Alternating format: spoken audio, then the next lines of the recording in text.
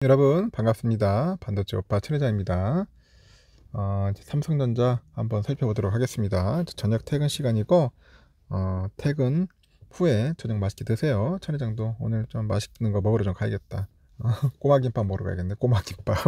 갑자기 어, 김밥이 끌렸습니다. 어, 김밥 매니아예요. 매니아인데 하여튼 김밥은 먹어도 먹어도 질리지가 않더라고요. 어, 가성비 좋지 않습니까? 음? 가격 대비 좋고 어, 하여튼 여러분 맛있게 드세요. 맛있게 드시고 재미있는 어, 하루 어, 보내시기 바랍니다. 어, 재미있는 이야기들이 많이 있어요. 좀 보니까 또 요즘 금융당국이요. 이 공매도 대책을 내놓은 데 이어서 애널리스트 그 리포트하고 그 리서치 센터 그 관련 제도를 대대적으로 선본다고 합니다. 어, 제발 좀 손 좀 봤으면 좋겠어. 어, 이게 주가가 이게 빠지는데도 이 목표가를 그 막 높이고요. 그 매수하라는 그 뻥튀기 리포트, 이 뻥튀기 리포트를 발간한 증권사, 이 증권사는 페널티를 좀 받아요. 음, 받고 개선 방안도 내놔야 한다. 그런 이야기를 있습니다. 그 애널리스트가 소속된 증권사하고 거래하는 그 상장 기업에 유리한 보고서를 쓰는 행위는 물론이고 이 마케팅에 동원되는 행위도 이제 금지가 된다. 그런 이야기들을 합니다. 그 매도 리포트 등 불리한 보고서를 썼다가 애널리스트 탐방을 거부하는 상장사는 한국거래소에 또 벌점을 받는다 합니다. 응? 야, 매도 리포트 썼다고 해가지고 니 오지 마. 어? 그건 좀 아닌 것 같아. 그러니까 상장사들도 좀 정신 차려야 돼. 어, 증권업계 보니까 금감원은 그 한국거래소 금융투자협회와 공동으로 해가지고 음, 증권사 리서치 관행 개선 방안을 마련 중인데 이 증권업계 의견 수렴도요 마친 상태예요. 그래서 시행이 머지않은 것으로 현재 보인다 그런 이야기를 합니다. 그래서 이번 개선안은 애널리스트하고 리서치 센터가 외부에서 받는 그런 입김을 이제 최소화합니다. 그리고 소신 있는 리포트를 쓸 수 있도록 하는데 어, 방점을 뒀다 그런 이야기를 하죠. 그 애널리스트를 보호하기 위한 세부 지침만 11개 다룬다고 하네요. 음, 잘못된 보고서를 냈을 때 받는 페널티 조항도 있다. 그러니까 저도 애널리스트들도 중요한 게 뭐냐면은 소신 있게 해야 돼. 자꾸 눈치를 보고 친기업적으로 쓸 게 아니라 내가 주주다 생각하고 진짜 객관적으로 이렇게 보고 판단을 해서 이 보고서 리포트를 써야 하는데 그렇지가 않아요. 응? 진짜 말 그대로 감정이 들어가는 엉뚱하게 쓰면은 결국 그 피해는 고스란히 우리 개미들한테 가는 겁니다.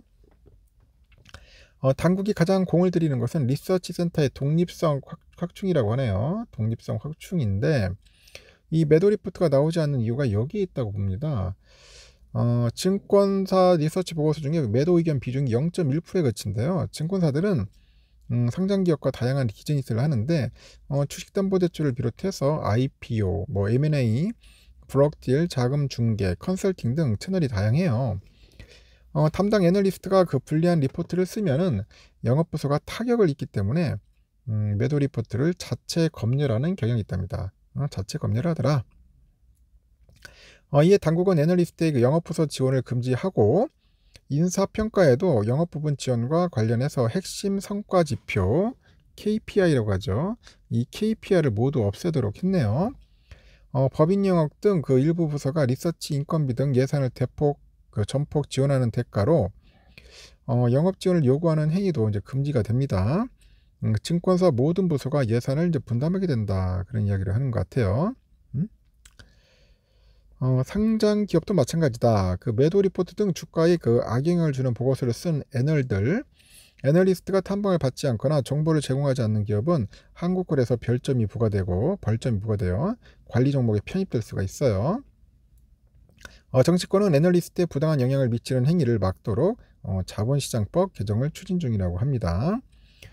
어, 애널리스트는 독립성을 보장받는 대신에 책임이 강화되는 거예요. 이 목표 주가랑 실제 주가의 달성률 순위가 음, 공개되고 어, 주가가 지나치게 벌어진 이들은 중립과 매도 리포트 발간 실적 관리가 이루어지고요. 어, 정착까지는 좀 시간이 걸리겠죠. 이런 게 어, 부담만큼이나 긍정적인 변화도 예상되지 않겠냐 그런 이야기들이 있습니다. 하여튼 좀 음, 객관적으로 할 수 있도록 독립성을 좀 이렇게 유지할 수 있도록 해줘야 돼요. 이게 필요한 것 같습니다. 빨리 개선돼야 할 필요성이 있는 것 같아요. 하여튼 빨리 좋은 일들이 뭐 벌어졌으면 좋겠습니다. 어 그리고 우리 삼성전자는 여러분들 아시다시피 좀 아쉬웠습니다. 좀 많이 빠져 가지고 주가가 좀 짜증 났죠. 제가 오늘 그랬죠. 7만 원까지는 가겠다 했는데 역시나 69,900 원으로 끝나 버리네요. 어 69,700원까지 빠졌다가 7만 원 가기가 조금 버거웠나 봅니다. 결국은 100 원이 모자랐어요.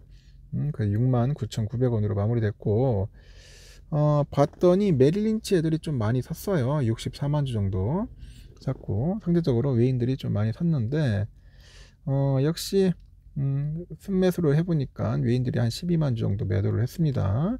오늘 기관 애들이 좀 많이 샀어요. 음? 기관 애들이 한, 기관 애들이 하는 게 아니라, 금융 투자애들이 많이 샀어요. 84만 주 정도. 팔기도 했지만은 어, 기간은 토탈 9만 9천 약 10만 주 개미들이 13만 주 샀고 오늘은 외인들이 그냥 사정없이 좀 팼습니다. 그 대신 매도량은 그렇게 크진 않는 것 같습니다. 수량은 어, 우선주도 마찬가지인데 오늘 우선주도 좀 빠졌어요. 0.87% 막판에 종가에 좀 비스무리한 게 올라왔어. 어, 그러니까 꼬리를 다 꼬리를 음, 밑에 하, 하방으로 꼬리를 만들고 올라갔습니다. 57,100원. 제가 그랬죠. 57,000원 선은 지지선이라고 좀 빠지더라도 더 이상 빠지지는 않을 겁니다. 음, 대신 하여튼 좀 샀습니다. CL이 11만, UBS 8만 8천, 골드만 5만 3천 정도 사고, 뭐 메릴린치 14만 9천, CT 8만 3천, 모건스 7만, JP 5만 5천 음, 매도를 했다 보시면 될 것 같습니다. 어, 외인들은 6만 4천 정도 매도를 하고요. 기관이 15,000, 개인이 54,000 어, 매수를 했습니다. 어, 이렇게 해서 오늘은 외인들이 좀 팔았습니다. 어, 지금 들어올까 말까 고민하고 있는 것 같은데 하여튼 외인들이 오늘은 좀 간을 본 것 같아요. 뭐 전폭적으로 팔려고 나가는 게 아니고 살짝 간을 보려고 좀 빠져나간 것 같고 어, 잠시 봤더니 중국은 오늘 상해지수가 0.16% 빠졌네요. 음, 빠졌고 홍콩 항생 0.5% 홍콩 H도 0.7% 오후 되니까 쑥 빠지네. 어, 일본 니케이 0.33% 빠졌습니다. 똑같이 오후 되니까 훅 빠졌어요. 음, 베트남은 오늘 막 급등했네요. 막판에 3% 올랐습니다. 3.07 웬일이야. 어, 대만도 오늘 0.33% 빠졌 33% 올랐습니다.